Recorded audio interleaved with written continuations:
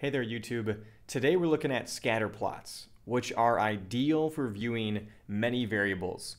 You can see here I've got position X, I've got some values on the Y, I've got the size of these dots changing with some variable, as well as I can do color bars and have color changes for the dots as well. To do this, you need to use the scatter function and provide it XY positions, some scale for the size, as well as color. And of course I wanted filled dots, so I have the filled command there.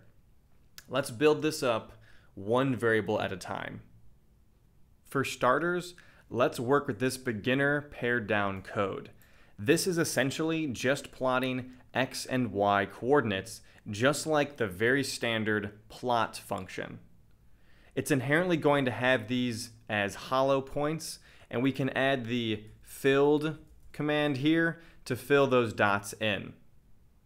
If we want to change the size of these dots, we need to have some scale and some numeric values to represent size, and the relative size is very important. Here I've added in size. Of course, all this data is just purely made up with randomness, but I've got size here as an absolute value of some random numbers. This is from a Gaussian distribution, and I've just been playing around with this and found this to be an ideal sizing factor.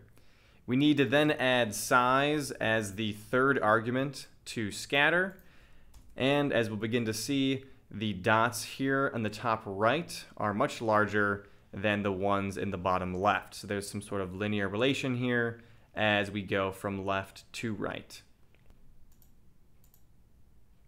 If we want to add some color to these dots, we need to add in a color variable. I have this just as a matrix of ones plus the x cubed. And then we have to add color as our fourth argument to scatter. Go ahead and plot this. And it's looking pretty good. However, we don't know what these things mean. We don't know why color's changing and what that means. And we don't know why size is changing. What I like to do is add some text on here to use the text command, you can simply add a x coordinate and a y coordinate, and then the text that you want to display. And that'll go ahead and put our text right on the chart at position 5, comma 3 and 5, comma 2 as we indicated. The last thing that's very useful is a color bar. I'm going to define bar here. It's an object, and it's a color bar object and then I'm going to change the Y label of that bar object to pressure and set the font size to 12.